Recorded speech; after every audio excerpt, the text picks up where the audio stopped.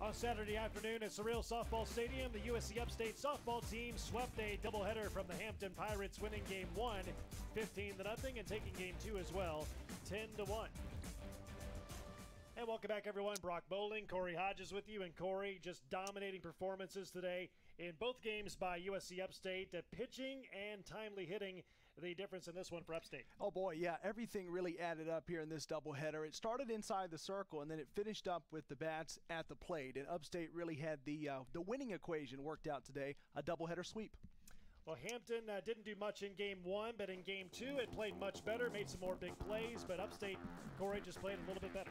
They did, and you're going to see some Upstate highlights here in a moment, but from this angle, we'll see Taylor Warwick driving in Joya Hill. That was the only run scored today for Hampton, one of their four combined base hits.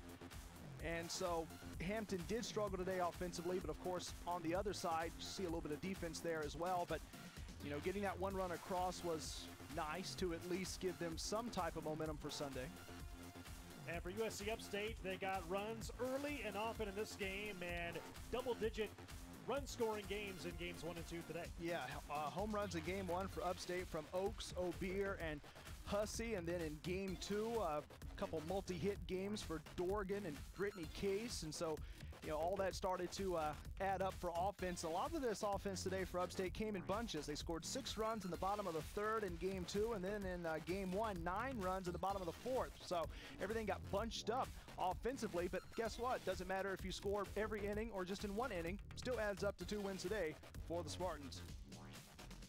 So the Spartans with a doubleheader sweep today in games one and two of the series. There you see the series summary in game one. Upstate winning 15 to nothing in five innings as Christina Bickerstaff got the win with 13 strikeouts. And in game two, another run ruled game. Upstate winning 10 to 1. Brittany Case with her 200th career hit in an Upstate uniform.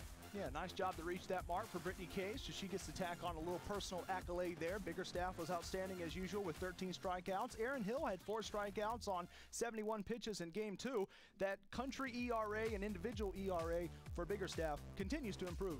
Upstate takes games one and two of the series. Third and final game of the series coming up on Sunday at 1 o'clock Eastern. You can catch the game with us on ESPN Plus. For Corey Hodges, Brock Bowling, so long from Spartanburg.